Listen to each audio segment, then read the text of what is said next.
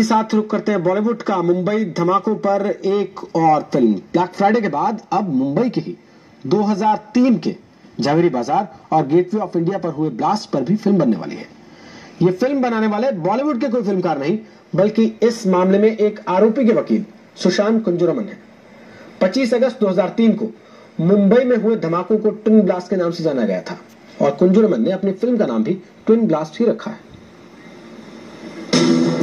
25 अगस्त 2003 मुंबई की शान gateway of India और जवेरी बाज़ार दोपहर साढ़े बारह बजे से डेढ़ बजे के बीच दो बम धमाकों से दहल गए।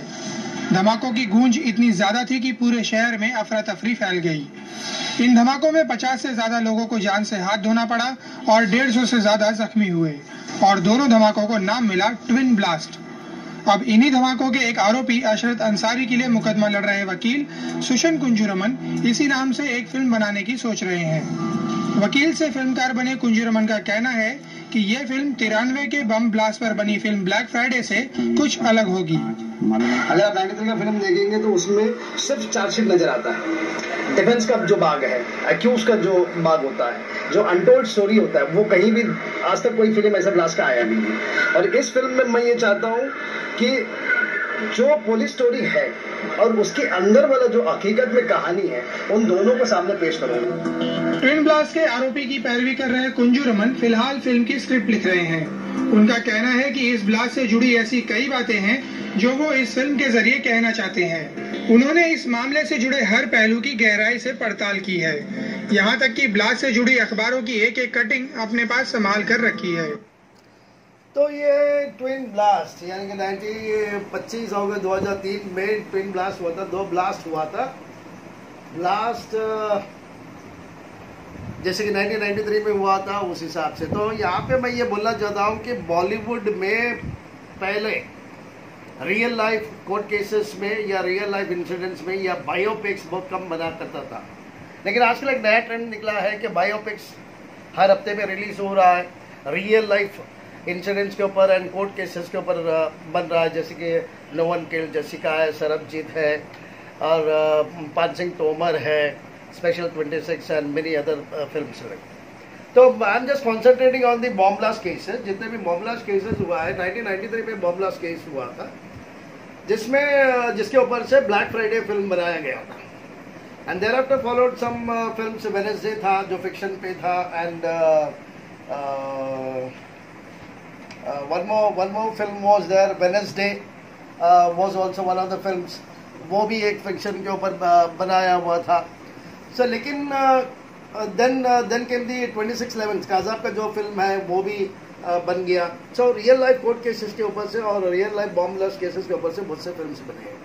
So I was just wondering कि ये जो 2003 का जो बॉम्बलेस केस है which is known as which is publicly known as and which got a wide publicity and a title as a twin blast क्योंकि दो ब्लास्ट हुआ था, इसलिए उसे ट्विन ब्लास्ट बोलते हैं। तो लेकिन आज तक ये दस साल हो गया, आज तक ये फ़िल्म बना नहीं है। Why why it has not been made ये मुझे समझ में नहीं आया है।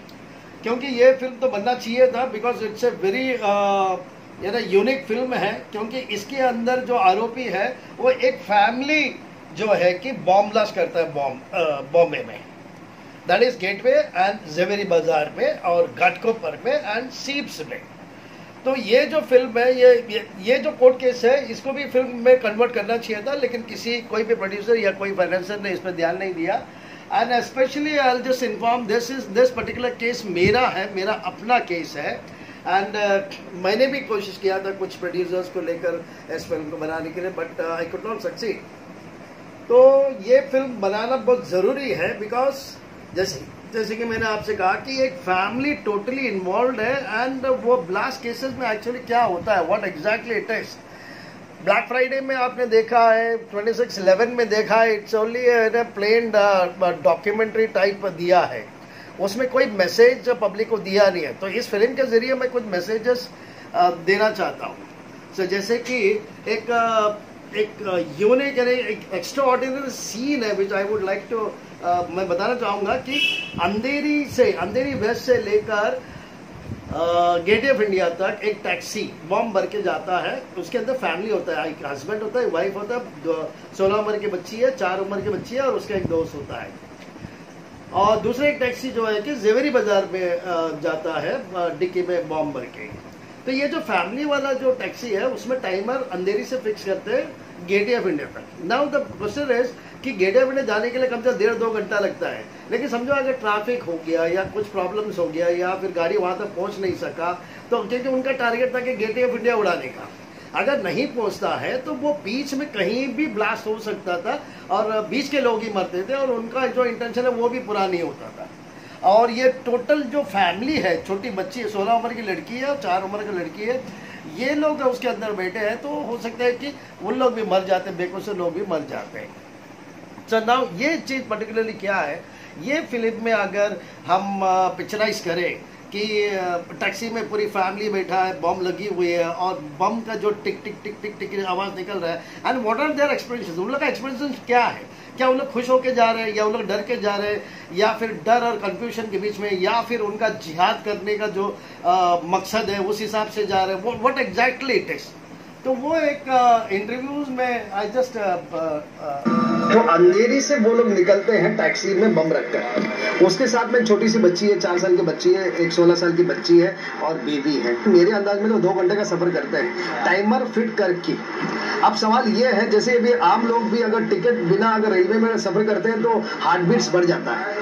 और यहाँ पे ऐसा है कि टैक्सी में टाइमर फिट करके लोग सफ़र कर रहे हैं। तो वो जो उनका इमोशंस है, या फिर उनका जो डेरिंग है ये सब वो एक कमाल का चीज़ है जो फ़िल्म में देखने में पब्लिक को ज़्यादा मज़ा आ जाएगा।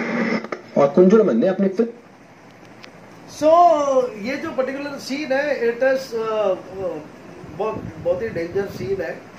इस सीन को पिक्चराइज अगर करें और एक्चुअली uh, टेररिज्म क्या है या टेररिज्म में क्या होना चाहिए और किस तरह से पुलिस डील करता है किस तरह से डिफेंस डील करता है? Because I was the advocate मैं इस, केस से डील किया I am was the defence lawyer आरोपियों को आरोपियों का वकालत करने वाला मैं ही वकील हूँ तो मैंने इस फ़िल्म को uh, इस स्टोरी को इस कोर्ट केस को नज़दीक से देखा है और समझा है। So I would like to share my experiences through this film तो ये फ़िल्म ज़रूर अभी uh, कुछ प्रोड्यूसर्स एंड कुछ फाइनेंसर्स लोगों के साथ में बातचीत चल रहा है। And means it has been finalise so now I am on the making of this particular film for the audience so let me remind again what exactly the subject is. इनका नाम भी ट्विन ब्लास्ट ही रखा है। 25 अगस्त 2003 मुंबई की शान gateway of India और जवेरी बाज़ार दोपहर साढ़े बारह बजे से डेढ़ बजे के बीच दो बम धमाकों से दहल गए। धमाकों की गूंज इतनी ज़्यादा थी कि पूरे शहर में अफरा तफरी फैल गई। इन धमाकों में 50 से ज़्यादा लोगों को जान से हाथ धोना पड़ा और 150 से ज़्यादा जख्मी हुए और दोनों धमाकों को नाम मिला twin blast twin blast so this film is under pre production it's coming shortly